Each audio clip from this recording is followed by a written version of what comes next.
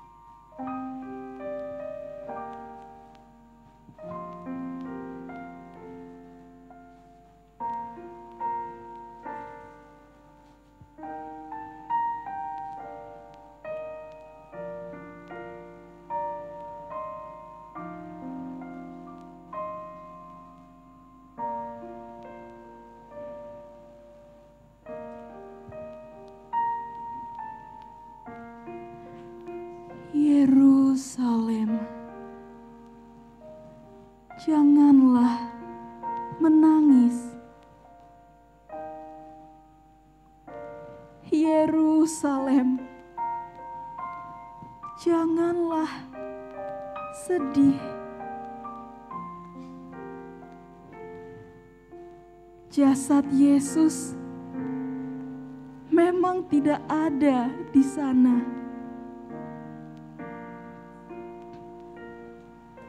bukan karena dicuri orang.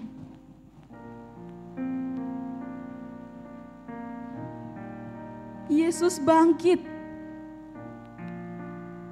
kubur kosong. Yesus hidup, tidak mati. Yerusalem jangan bersedih. Bersoraklah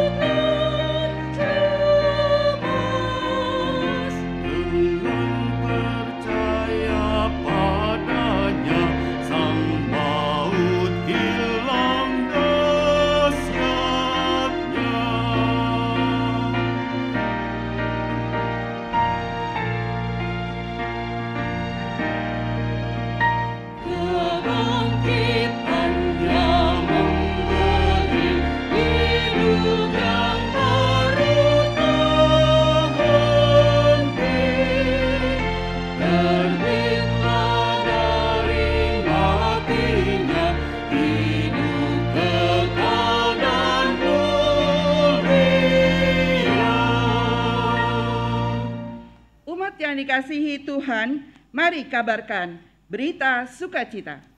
Yesus bangkit dan menang. Kuasa kubur dan maut dikalahkan. Yesus bangkit dan menang.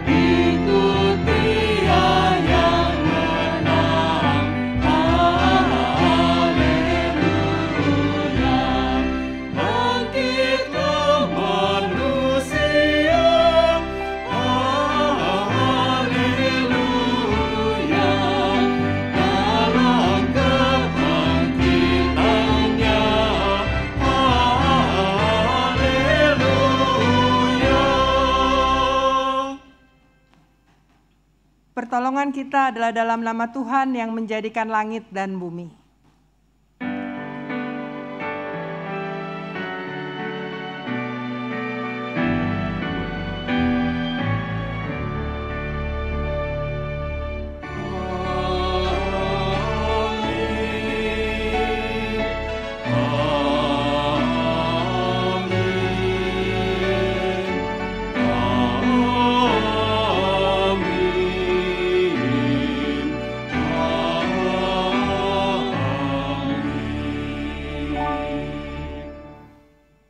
Beserta saudara. dan beserta saudara juga.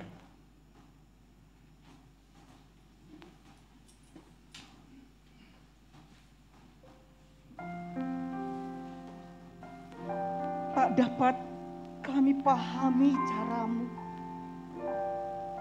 Menghapus keraguan di hati para perempuan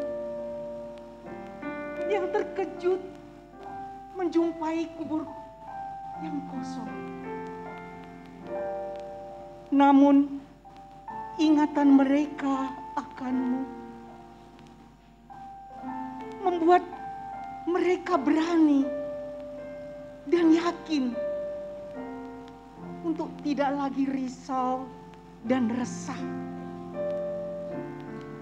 Mereka yakin Engkau bangkit, Engkau hidup, dan mereka bergegas menyampaikan kepada yang lain.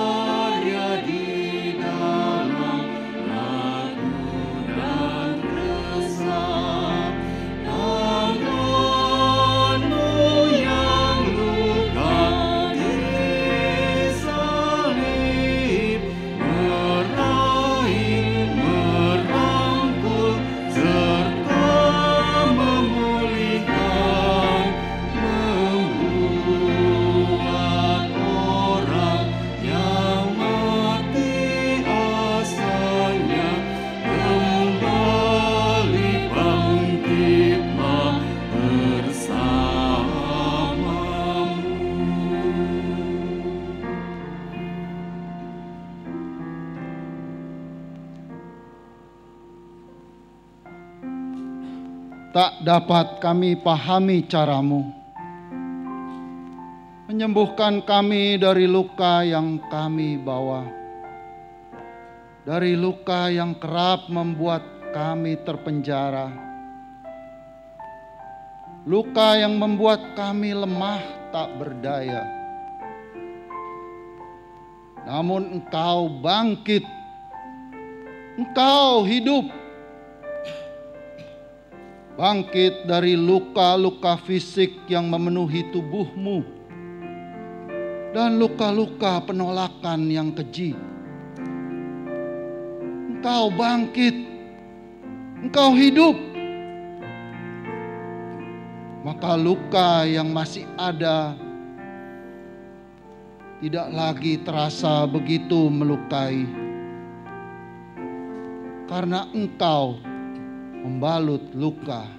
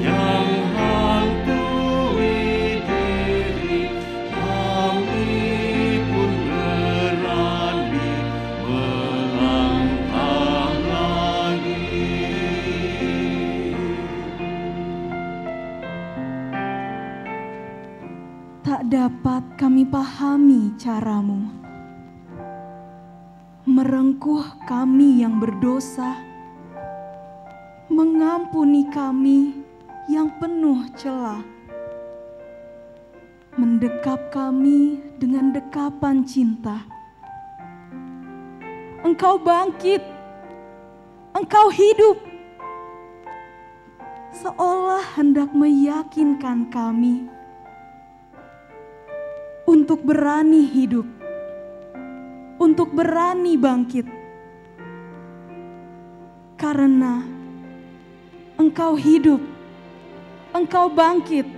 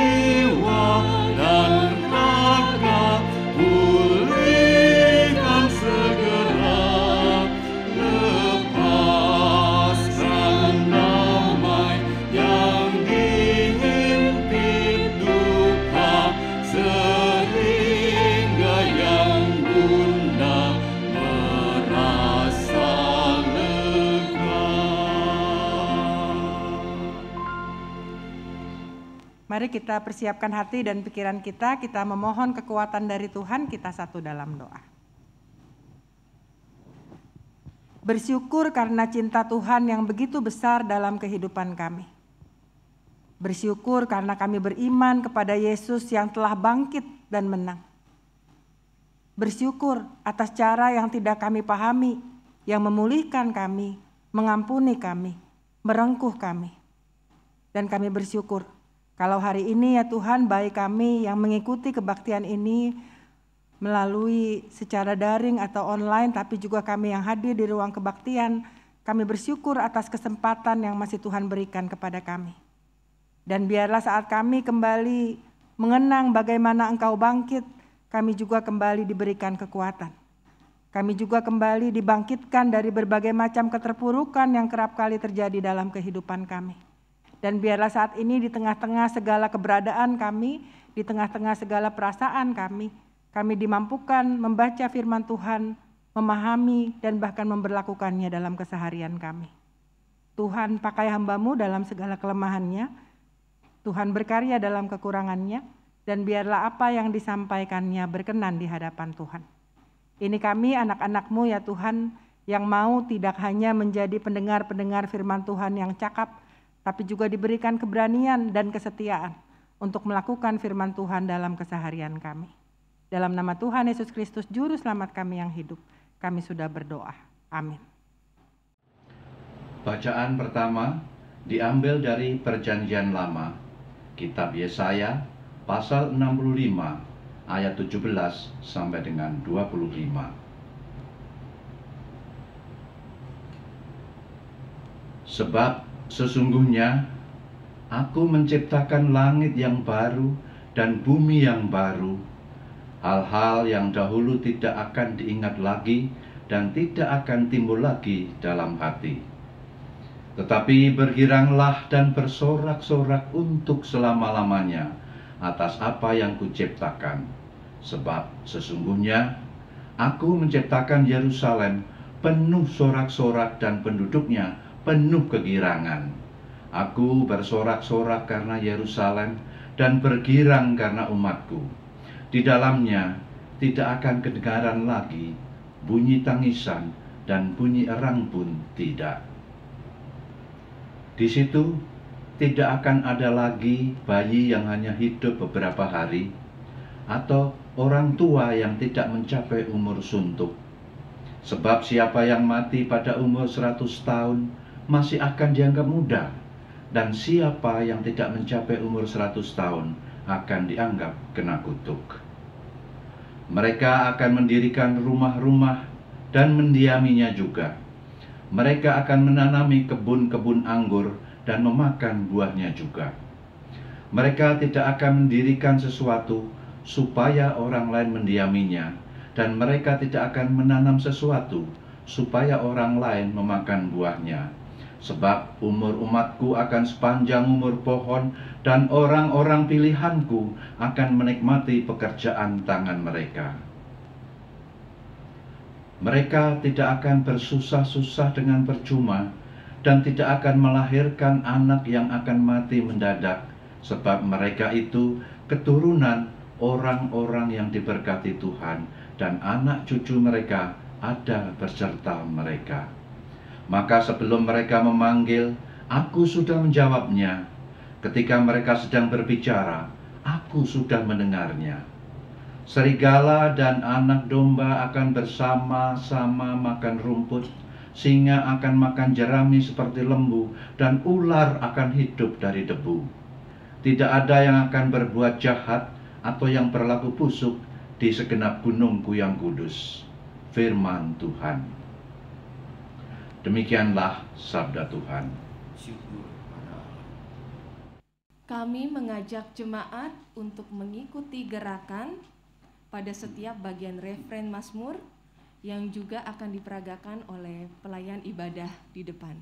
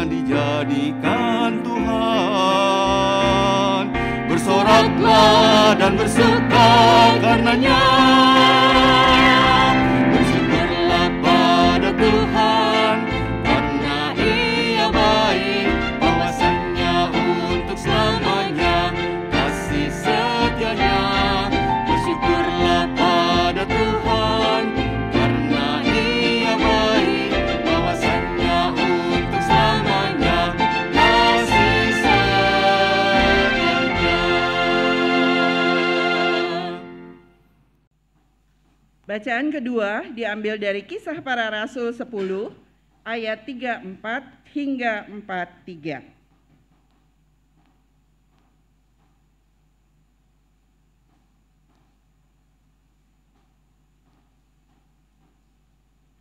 Lalu mulailah Petrus berbicara, katanya, Sesungguhnya aku telah mengerti bahwa Allah tidak membedakan orang. Setiap orang dari bangsa mana pun yang takut akan Dia dan yang akan mengamalkan kebenaran berkenan kepadanya. Itulah firman yang ia suruh sampaikan kepada orang-orang Israel, yaitu firman yang memberikan damai sejahtera oleh Yesus Kristus yang adalah Tuhan dari semua orang. Kamu tahu tentang segala sesuatu yang terjadi di seluruh tanah Yudea, mulai dari Galilea sesudah baptisan yang diberitakan oleh Yohanes, yaitu tentang Yesus dari Nazaret. Bagaimana Allah mengurapi dia dengan roh kudus dan kuat kuasa. Dia yang berjalan berkeliling sambil berbuat baik dan menyembuhkan semua orang yang dikuasai iblis sebab Allah menyertai dia. Dan kami adalah saksi dari segala sesuatu yang diperbuatnya di tanah Yudea maupun di Yerusalem. Dan mereka telah membunuh dia dan menggantung dia pada kayu salib. Yesus itu telah dibangkitkan Allah pada hari yang ketiga dan Allah berkenan bahwa ia menampakkan diri bukan kepada seluruh bangsa tetapi kepada saksi-saksi yang sebelumnya telah ditunjuk oleh Allah yaitu kepada kami yang telah makan dan minum bersama-sama dengan dia setelah ia bangkit dari antara orang mati. Dan ia telah menugaskan kami memberitakan kepada seluruh bangsa dan bersaksi bahwa dialah yang ditentukan Allah menjadi hakim atas orang-orang hidup dan orang-orang mati. Tentang dialah semua nabi bersaksi bahwa barang siapa percaya kepadanya, ia akan mendapat pengampunan dosa oleh karena namanya. Demikianlah sabda Tuhan.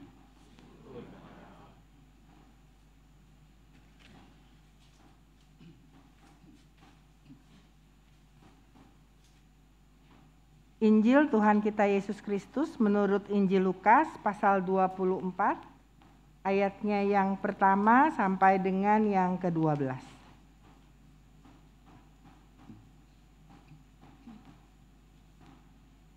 Tetapi pagi-pagi benar pada hari pertama minggu itu mereka pergi ke kubur membawa rempah-rempah yang telah disediakan mereka. Mereka mendapati batu sudah terguling dari kubur itu.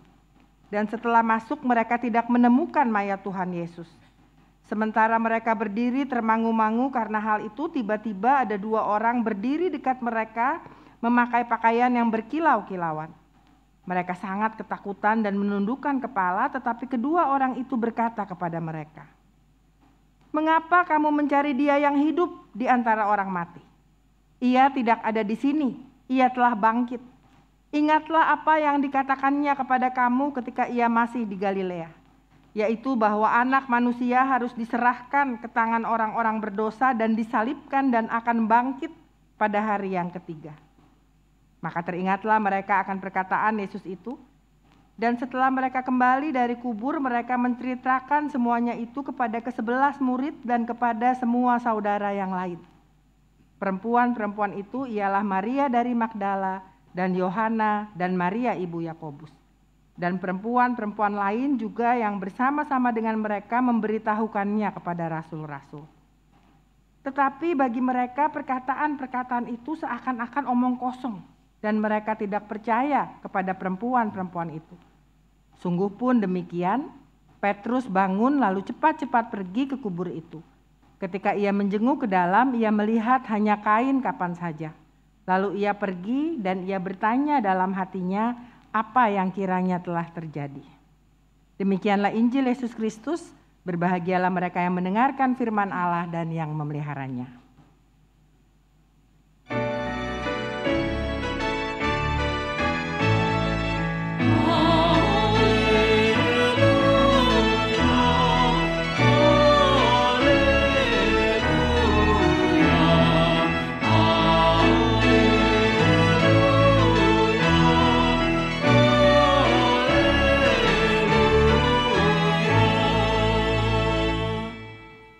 Silakan duduk Bapak Ibu Saudara. Elizabeth Blackwell, Bapak Ibu Saudara, adalah seorang wanita pertama yang memperoleh gelar kedokteran pada tahun 1849.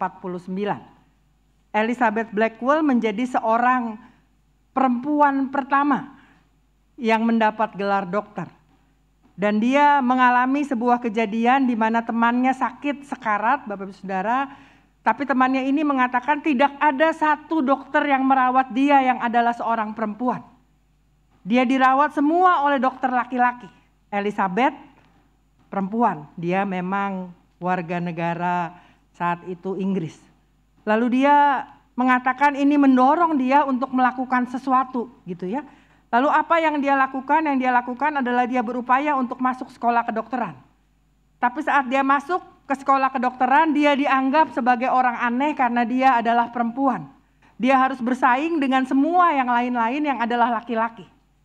Sampai dia praktek dan lain sebagainya untuk meraih gelar dokternya, dia mengalami berbagai macam perlakuan diskriminatif.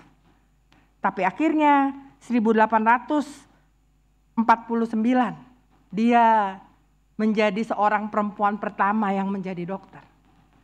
Apa yang kita lihat di sini Bapak Ibu Saudara? Atau saya mengajak kita menghubungkan dengan kisah kebangkitan Bapak Ibu Saudara bukan karena saya perempuan, tapi ternyata kalau kita baca kisah kebangkitan itu didengar pertama kali oleh perempuan. Dan yang menarik kalau di sini Bapak Ibu lihat bagaimana reaksi perempuan, bagaimana reaksi laki-laki gitu ya.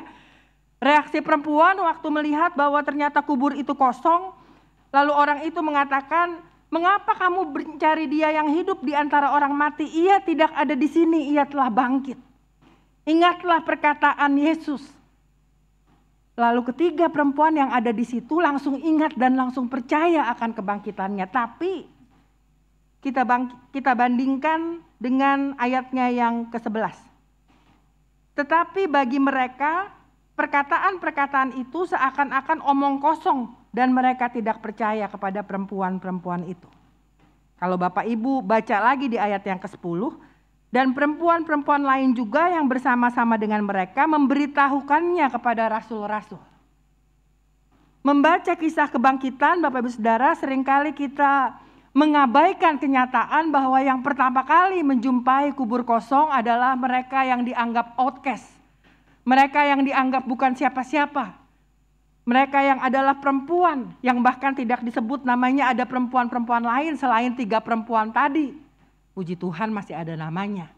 Tapi kebanyakan perempuan-perempuan dalam Alkitab adalah perempuan-perempuan tidak bernama. Tapi ternyata Tuhan memberikan kesempatan pertama kali untuk tidak hanya menyaksikan, tapi mengabarkan kepada yang lain itu lewat siapa? Lewat perempuan-perempuan. Bahkan rasul-rasul menganggap perkataan perempuan-perempuan itu omong kosong. Ini hal yang pertama. Membingkai cerita Paskah dalam sebuah kenyataan bahwa Tuhan bangkit dan fakta bahwa Tuhan bangkit dinyatakan kepada mereka yang tersisih dari kehidupan. Kepada mereka yang tidak dianggap, kepada mereka yang tidak bernama, kepada mereka yang tidak terhitung.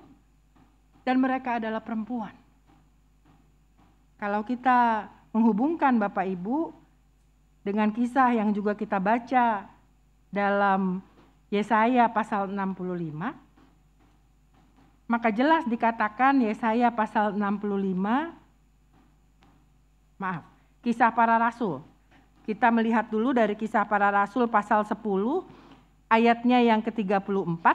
Maka di situ jelas dikatakan mulailah Petrus berbicara katanya sesungguhnya aku telah mengerti bahwa Allah tidak membeda-bedakan orang. Jadi ini yang pertama. Yesus tidak membedakan laki-laki dan perempuan.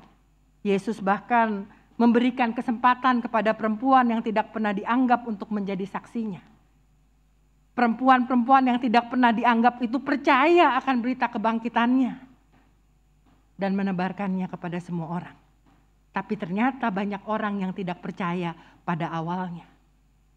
Ini yang pertama Bapak Ibu Saudara. Berita kebangkitan itu tidak membeda-bedakan orang.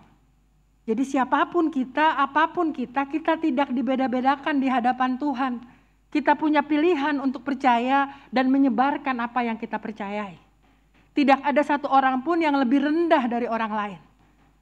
Tapi bangsa kita termasuk bangsa yang membuat suku-suku tertentu, orang-orang tertentu hidup dalam rasa inferior. Dan itu sering kali membuat kita tidak berupaya sekuat tenaga untuk menghidupi mimpi kita. Zaman dulu patriak. Tapi sekarang kita ada di zaman di mana perempuan dan laki-laki setara. Zaman dulu itu mimpi, tapi sekarang ini menjadi kenyataan. Saat ini kita mungkin punya mimpi. Saat ini kita menjadi orang-orang yang mungkin tidak bisa sama dengan orang lain entah karena alasan apa pun. Tapi mimpi itu harus kita perjuangkan. Karena berita kebangkitan menyapa orang-orang yang tersisih dari kehidupan. Dan kalau kita tersisih karena warna kulit kita, kalau kita tersisih karena gender kita, kalau kita tersisih karena agama kita, berita pasca mengajak kita untuk sama seperti perempuan.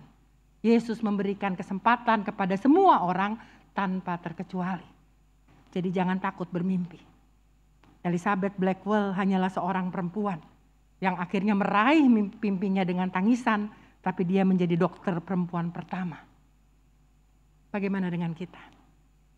Yesus menyapa para perempuan yang bukan siapa-siapa. Mungkin saat ini kita merasa kita tidak punya hak untuk bermimpi, kita tidak punya hak untuk menjadikan dunia lebih baik. Kita tidak punya hak untuk menjadikan sesuatu yang lebih gemilang karena kita bukan siapa-siapa. Tapi berita Paskah berawal dari mereka yang bukan siapa-siapa. Mereka yang bukan siapa-siapa tapi diberikan kesempatan oleh Tuhan. Jadi kalau sekarang kita merasa kita bukan siapa-siapa, Tuhan tidak membeda-bedakan orang. Sekalipun kita karena gender kita mengalami kesulitan dalam hal apa pun, sekalipun kita karena masalah keuangan dan ekonomi seolah-olah membuat kita tersisi dan tidak bisa bermimpi. Kalaupun ada berbagai macam hal yang membuat kita merasa tersisih dari kehidupan, maka berita Paskah ini menyapa saudara dan saya. Jangan merasa tersisih, tereksklud dari berita Paskah karena status sosial, karena siapa pun kita karena berita pasca menyapa yang paling tidak tersapa biasanya dalam kehidupan. Dan Tuhan menyapa para perempuan. Ini hal yang pertama Bapak Ibu Saudara. Jadi saya mengajak kita melihat diri kita, melihat berbagai macam hal yang membuat kita inferior dan tidak lagi mampu berjuang, entah untuk kebaikan, entah untuk mimpi kita, membuat kita mengubur dalam-dalam segala harapan, maka hari ini Tuhan menyapa kita Sekalipun kita bukan siapa-siapa. Sekalipun mungkin kita dipandang sebelah mata entah karena alasan apa pun. Tapi hari ini Tuhan melihat Bapak Ibu Saudara dan saya. Dan Tuhan menyapa kita dalam berita kebangkitannya.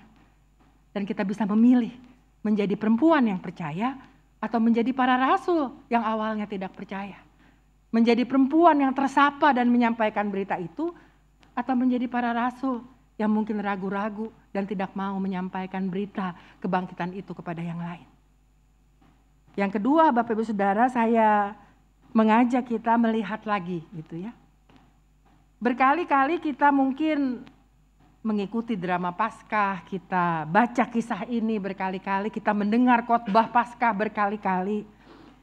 Kita tahu bahwa perempuan-perempuan ini mendapati kubur itu kosong dan tidak ada Yesus di sana, lalu berita-berita itu diberitakan kepada mereka, Yesus bangkit gitu ya. Biasa. Tapi saya ingin mengajak kita coba memahami dengan sungguh-sungguh Bapak Ibu Saudara, pergumulan para perempuan dan para rasul. Mereka punya harapan yang cukup tinggi di tengah-tengah segala penderitaan yang mereka alami saat itu sebagai orang-orang Yahudi. Mereka punya harapan yang tinggi bahwa Yesus sebagai Mesias akan menjadi pembebas. Mereka punya harapan yang tinggi bahwa Yesus adalah raja. Dalam harapan-harapan bahwa Yesus adalah sang pembebas dari segala penjajahan, segala penindasan, segala kehidupan yang susah. Tiba-tiba Yesus mati. Dalam segala pengharapan bahwa Yesus ini bisa mengalahkan raja-raja penjajah itu, ternyata Yesus mati sebagai penjahat. Gak cuman mati, setelah mati mayatnya gak ada. Coba tempatkan dalam kerangka bahwa Bapak Ibu saudara dan saya belum tahu endingnya. Bapak Ibu saudara dan saya belum tahu bahwa Yesus itu bangkit. Bapak Ibu saudara dan saya sama seperti perempuan-perempuan yang punya pengharapan. Yang punya segudang bayangan tentang masa depan. Tapi ternyata Yesus mati dan mayatnya nggak ada. Coba tempatkan dalam kerangka sebagai perempuan dan para rasul yang punya pengharapan begitu tinggi kepada Yesus. Mereka seolah-olah mimpinya hancur berantakan.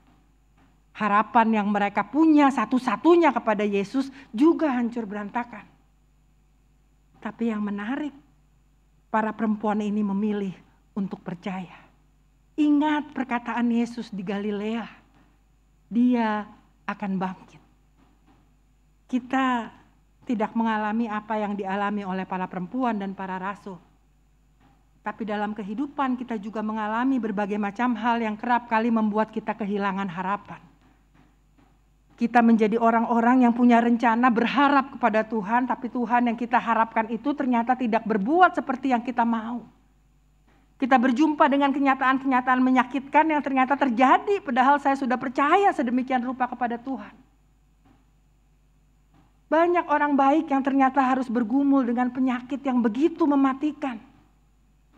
Banyak orang baik yang kehilangan orang-orang yang dikasihi karena pandemi. Banyak orang jujur, orang baik yang berupaya sekuat tenaga, tapi susah untuk hidup secara layak, secara ekonomi. Padahal banyak orang yang curang yang hidupnya jauh lebih benar. Banyak kenyataan yang membuat kita seolah-olah saya sudah berharap kepada Tuhan, tapi kok begini? Banyak orang serampangan dengan hidupnya tapi hidup sehat. Saya menjaga hidup saya dengan baik. Tapi bergumul dengan sakit penyakit. Mungkin saat ini berita Paskah juga menyapa Bapak Ibu Saudara dan saya. Ada banyak hal yang terjadi di luar akal kita, di luar rencana kita, di luar harapan kita dan seolah nggak ada harapan gitu ya. Harapannya seolah diambil, harapannya seolah pupus. Tapi mari menjadi murid-murid, menjadi perempuan yang akhirnya percaya dan memaknai kehilangan harapan itu sebagai sesuatu di mana iman kita itu diuji untuk percaya. Ada banyak hal yang membuat kita hampir kehilangan harapan kita kepada Tuhan. Ada banyak hal yang membuat kita mempertanyakan dan mungkin di posisi itu. Kita tidak jauh beda dengan para perempuan dan murid-murid yang kehilangan harapannya, karena Yesus tidak bertindak, tidak berlaku seperti yang mereka harapkan. Jadi kalau saat ini ada banyak hal yang membuat kita tidak mengerti. Ada banyak hal yang membuat kita mempertanyakan keberadaan Tuhan. Maka berita Paskah itu cocok untuk Bapak Ibu saudara dan saya. Memaknai itu semua dengan iman. Memaknai sesuatu yang melampaui akal kita itu dengan keyakinan Yesus yang bangkit, dia nggak cuman hilang gitu ya, dicuri, tapi memaknai bahwa Yesus itu bangkit. Jadi ini yang kedua Bapak Ibu Saudara. Bagaimana dalam kehidupan kita saat kita mengalami banyak hal yang tidak mampu kita pahami, saat kita seolah-olah dibiarkan Tuhan dengan doa-doa yang tidak terjawab sesuai dengan keinginan kita, saat kita bergumul terus dengan pengharapan sekalipun kita sudah berjuang terus, tapi seolah-olah nggak ada jalan keluar. Berita Paskah itu menyapa kita. Maknai keadaan itu dengan keyakinan. Selalu ada harapan, selalu ada jalan keluar. Dan iman akan membuat kita melakukan banyak hal, mampu melewati banyak hal. Saya tertarik dengan sebuah berita yang pernah saya baca, Bapak Ibu Saudara, tentang Tarjono yang dulunya adalah seorang pegawai PLN. Lalu di tahun sekitar 1990-an, Tarjono Selamat ini mengalami sebuah kejadian di mana saat dia bekerja trafonya terbakar gitu ya. Lalu yang terjadi Bapak Ibu Saudara, kaki kiri diamputasi, jari jemari tangannya semua rusak dan tidak berfungsi. Bisa dibayangkan dia penyanggah kehidupan keluarganya, dia sehat, tapi dengan kejadian yang mendadak itu dia kehilangan semuanya, kehilangan fisiknya yang normal, kehil kehilangan pekerjaannya dan akhirnya Bapak Ibu Saudara dia menjadi seorang disable. Lalu dia butuh waktu dua tahun untuk berdamai dengan kenyataan, menerima kenyataan bahwa dia cacat, Bapak Ibu Saudara, dia kehilangan segalanya. Dia pulang ke kampungnya dan sering kali orang melihat dia, menatap dia dengan sebelah mata karena kecacatannya. Dan dia harus berdamai dengan itu semua. Lalu dia akhirnya pergi ke Yakum di Yogyakarta, ini pusat rehabilitasi Kristen, Bapak Ibu Saudara. Dan di sana dia berupaya memperbaiki dirinya, menerima keadaan bahwa dia cacat. Dan akhirnya bersama-sama dengan 25 orang cacat yang lain dia mendirikan sebuah perusahaan CV mandiri untuk orang-orang membuat mainan dari kayu. Dan dia disekolahkan ke Australia, pulang dia sungguh-sungguh memberdayakan orang-orang itu dan sekarang ini menjadi sebuah perusahaan yang menghidupi banyak orang dan menjadi berkat bagi banyak orang. Berawal dari orang yang kehilangan kenormalannya. Berawal dari orang yang kehilangan kehidupan yang dia harapkan. Berawal dari kehilangan. Saat dia bisa memaknai, dia bisa menjalaninya dengan baik. Kalau kita berhadapan dengan kehilangan, kehilangan apa pun, maka ingatlah bahwa murid-murid dan para perempuan saat itu juga mengalami kehilangan. Tapi mereka bisa memilih memaknai kehilangan itu dengan iman. Bagaimana dengan kita? Berani hidup karena Yesus hidup. Yesus tidak mati lalu hilang jasadnya. Yesus mati tapi bangkit, dia hidup. Artinya selalu ada jalan keluar, selalu bisa terlewati. Hal yang ketiga Bapak Ibu Saudara saya mengajak kita memaknai semua ini dalam sebuah kerangka tidak ada sesuatu yang abadi. Tidak ada yang tetap, tidak ada yang sama. Segala keadaan terus berubah dalam iman kita kepada Tuhan. Dan saya ingin mengajak kita memaknai dan melihat kembali kebangkitan ini dalam terang Yesaya 65 ayatnya yang ke-17. Yesaya pasal 65 merupakan bagian ketiga dari berita Nabi Yesaya kepada bangsa Israel yang meyakinkan bahwa akan ada langit dan bumi baru. Dalam penjajahan, dalam penindasan akan ada harapan bahwa penjajahan, penindasan itu tidak akan berlaku selamanya. Akan ada saatnya di mana ada Yerusalem yang baru dan dalam pengharapan akan itu mereka yang bukan siapa-siapa, mereka yang kehilangan harapannya, mereka yang tertindas, mereka yang terjajah bisa terus hidup. Karena apa? Karena hujan tidak akan terus hujan. Gelap tidak akan terus gelap. Kita tidak akan terus ada di bawah, tapi juga kita tidak akan terus ada di atas. Hidup terus berubah dalam terang dan pemeliharaan Tuhan. Dalam harapan akan Yerusalem yang baru. Jadi ini yang ketiga Bapak Ibu Saudara. Apa pun kita, bagaimanapun kita, apa pun perjalanan hidup yang kita alami saat ini, ini adalah bagian dari penantian, bagian dari perjalanan yang terus akan diperbaharui oleh Tuhan. Kebangkitannya mengajarkan kita untuk berani hidup. Karena kehidupan itu terus bergerak. Kehidupan itu terus menyongsong, menyongsong Yerusalem yang baru. Dan tidak ada tangis yang terus menjadi tangisan. Tidak ada gelap yang terus gelap. Tapi sama seperti kehidupan. Ada malam, ada siang ada musim kering, ada musim hujan. Selalu ada perubahan. Dan di dalam kerangka itu apa pun keadaan dan status saudara saat ini. Maka janganlah pernah berputus asa. Beranilah terus berjuang, beranilah terus hidup. Karena Yesus hidup. saya mengakhiri khotbah saya Bapak Ibu dengan sebuah ilustrasi tentang seorang perempuan yang bernama Anita Roddick. Anita Roddick hanyalah seorang perempuan Italia yang menikah dengan seorang laki-laki dari Amerika. Lalu saat mereka pindah dia mendirikan sebuah perusahaan kosmetik. Lalu perusahaan kosmetik yang didirikannya Bapak Ibu punya prinsip yang saat itu masih baru yaitu trade fair. Jadi dia mau dia mendapatkan bahan-bahan dari pabrik-pabrik yang memperlakukan orang-orangnya dengan adil. Tidak menindas gitu ya, tapi memperlakukan dengan adil. Lalu dia juga against animal testing. Jadi dia tidak mau produk kecantikan yang diproduksinya ini menyengsarakan makhluk hidup lain yaitu binatang. Jadi perusahaan kosmetik ini against animal testing.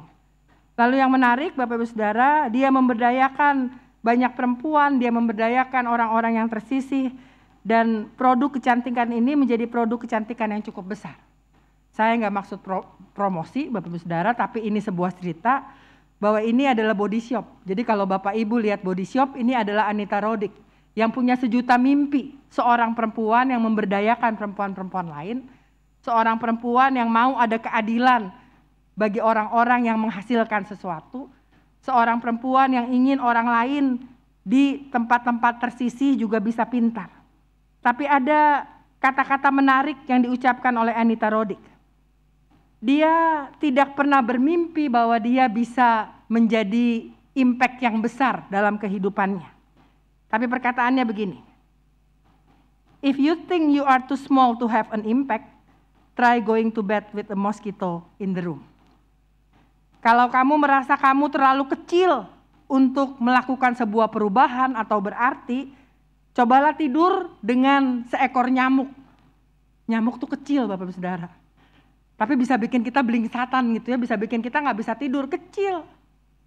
Saat kita merasa kecil, jangan dipikir kita nggak bisa bikin impact. Kita bisa bikin impact sama seperti mosquito. Jadi dalam kehidupan, kehidupan akan terus berubah. Siapa pun kita, keadaan kita bagaimanapun, lakukanlah hal yang baik, kejarlah mimpi kita, rubahlah dunia dengan berbagai macam kebaikan yang kita bisa ubah. Kenapa? Karena kita beriman kepada Yesus yang hidup. Selamat Paskah, Bapak Ibu Saudara. Siapa pun kita, ada di mana kita saat ini, tidak mengubah kita untuk terus melakukan yang terbaik dan meyakini Yesus bangkit dan dalam kebangkitan Yesus tidak ada yang mustahil. Siapa pun kita, apa pun kita, semua akan dilewati dalam keyakinan. Dia bangkit dan menguatkan kita. Selamat Paskah, Tuhan memberkati.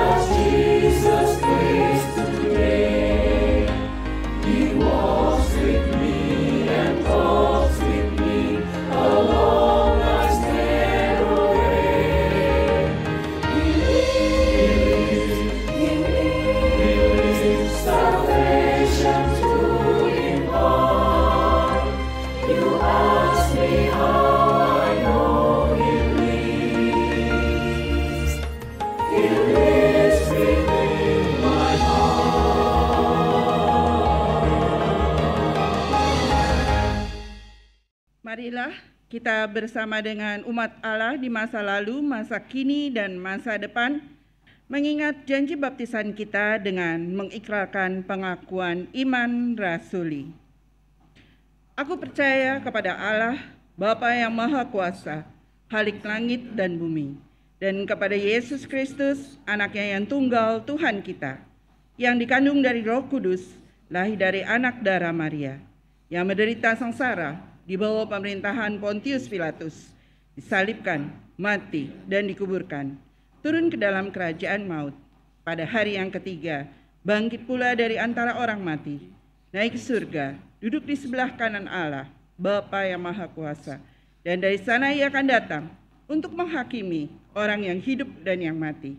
Aku percaya kepada Roh Kudus, gereja yang kudus dan am, persekutuan orang kudus, pengampunan dosa, kebangkitan orang mati, dan hidup yang kekal. Amin.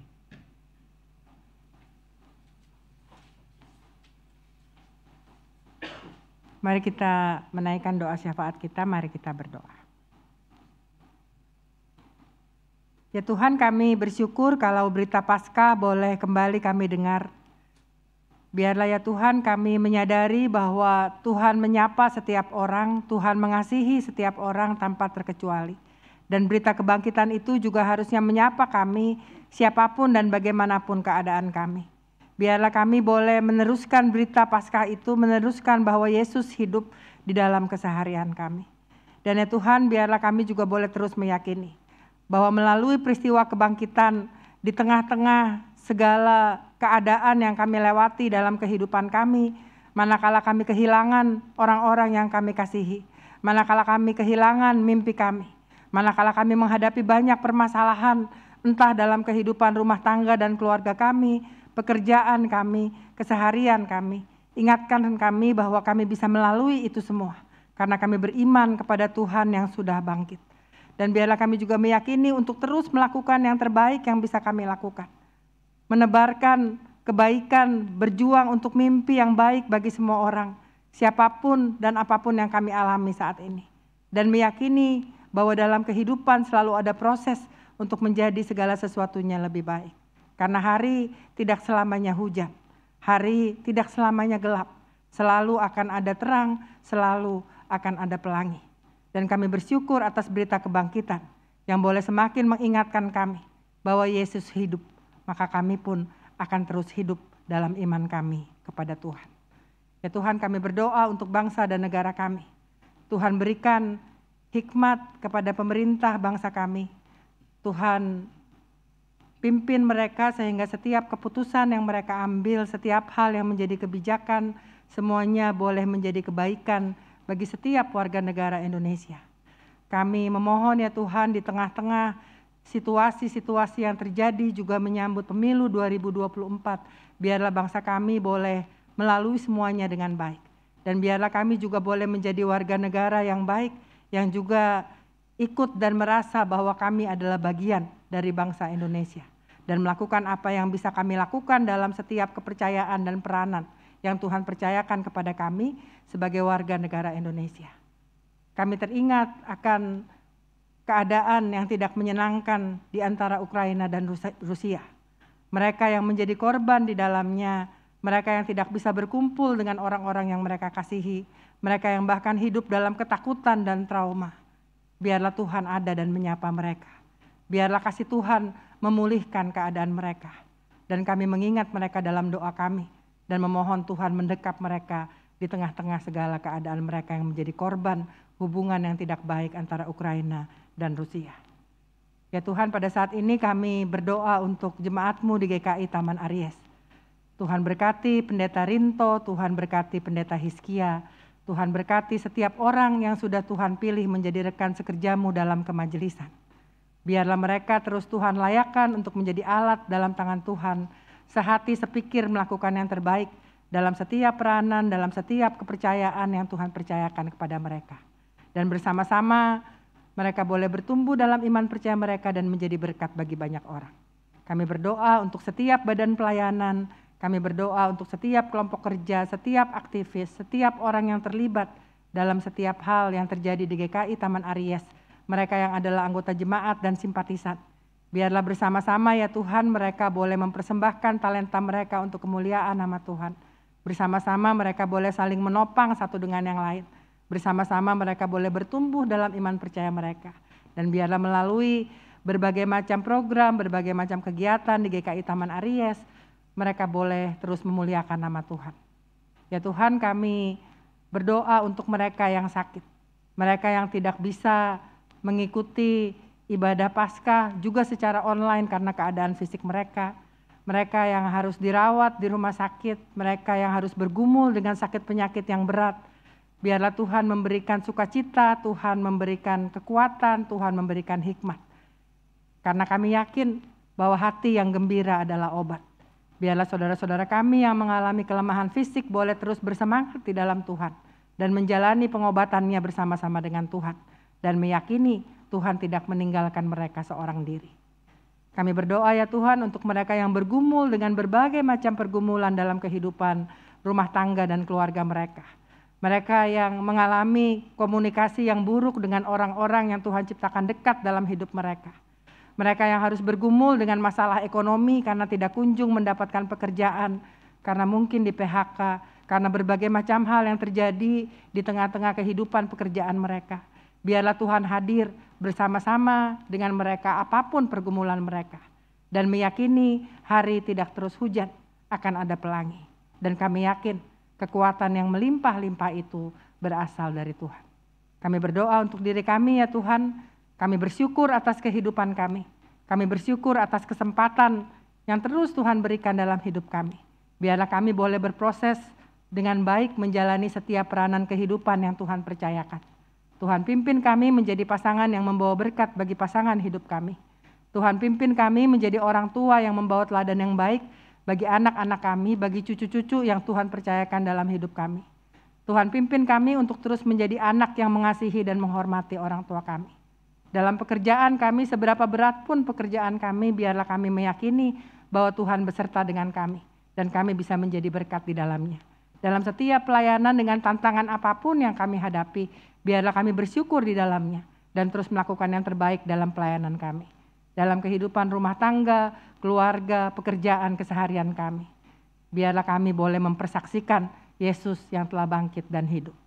Ampuni dosa dan salah kami, sehingga itu semua tidak menghalangi kepenuhan anugerah Tuhan dalam hidup kami. Kami menaikkan doa kami di dalam nama Tuhan Yesus Kristus, Juru Selamat kami yang hidup. Amin. Bapak Ibu yang dikasih Tuhan Yesus Kristus, seperti Maria dari Magdala, Yohana, dan Maria ibu Yakobus merespon kebangkitan Yesus dengan menceritakannya kepada para rasul, mari kita juga merespon kebangkitan Yesus dengan memberikan persembahan yang terbaik dari diri kita sebagai wujud syukur kita kepada Tuhan yang mengasihi kita. Firman Tuhan di dalam Roma pasal yang ke-12 ayat pertama mengatakan demikian. Karena itu saudara-saudara, demi kemurahan Allah, aku menasihatkan kamu supaya kamu mempersembahkan tubuhmu sebagai persembahan yang hidup, yang kudus, dan yang berkenan kepada Allah. Itu adalah ibadahmu yang sejati. Persembahan dapat dikirimkan ke rekening GKI Taman Aries atas nama GKI Sinode Wilayah Jawa Barat atau dengan scan QRIS yang tertera di layar Bapak Ibu semua. Dan bagi jemaat yang saat ini beribadah di gedung gereja, QRIS tertera di depan kursi Bapak Ibu masing-masing. Atau jemaat juga dapat memberikan persembahan di kotak persembahan yang tersedia di pintu keluar gereja setelah selesai kebaktian karena kantong kolektor tidak diedarkan di dalam persembahan ini.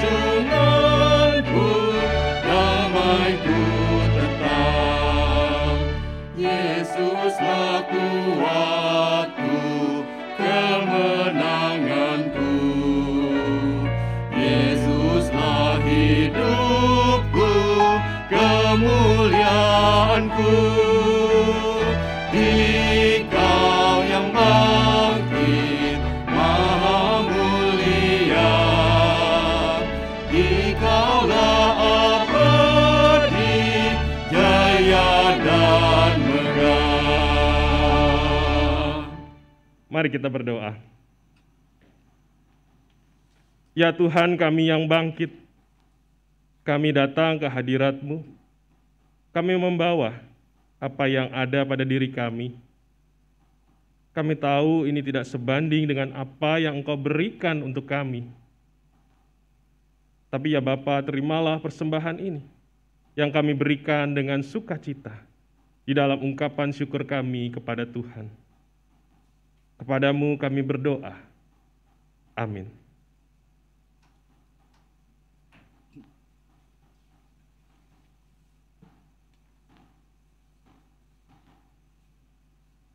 Yesus bangkit. Yesus hidup. Karena itu hiduplah dalam keberanian dan pengharapan. Hiduplah dalam pengampunan dan pemulihan. Hiduplah dalam kekuatan dan kedamaian.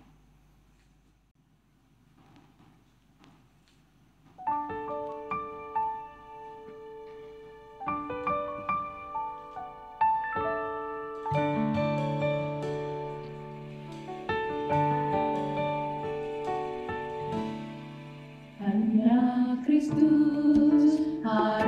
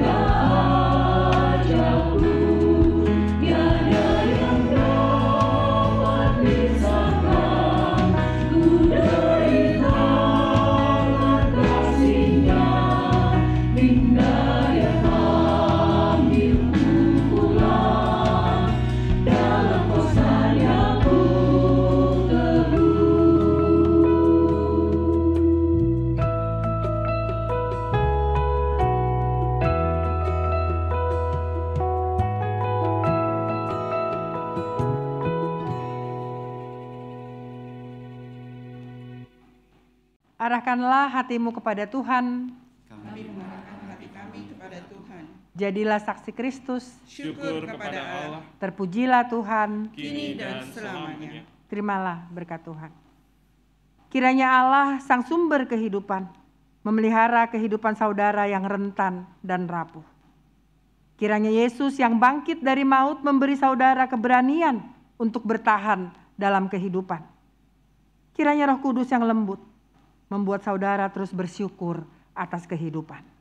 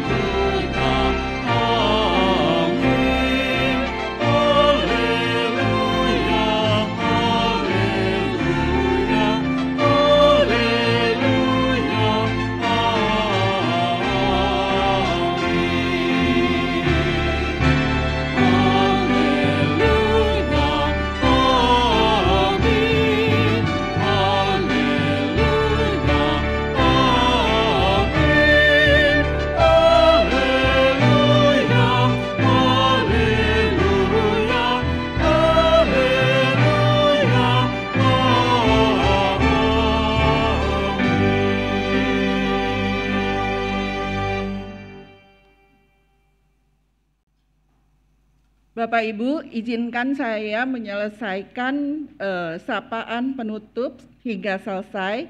Bapak Ibu tetap di tempat duduk. Setelah selesai baru meninggalkan tempat.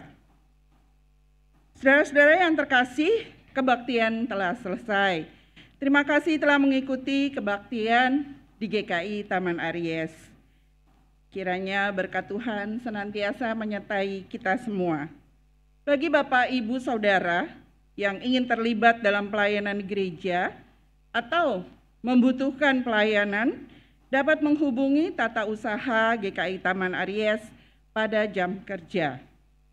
Setelah ibadah ini selesai, khusus bagi umat yang beribadah di gereja, dihimbau untuk langsung pulang ke rumah masing-masing sebagai, eh, sebagai bagian dari komitmen kita untuk menjaga kesehatan kita bersama. Selamat hari Minggu, Tuhan Yesus memberkati. Kita berani hidup karena Tuhan Yesus telah hidup. Selamat Paskah.